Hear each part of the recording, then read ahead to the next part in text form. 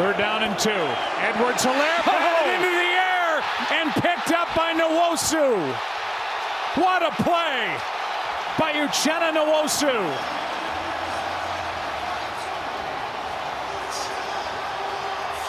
Troy, he almost had one earlier. I, I was just thinking it. Wasn't he the guy who had one earlier that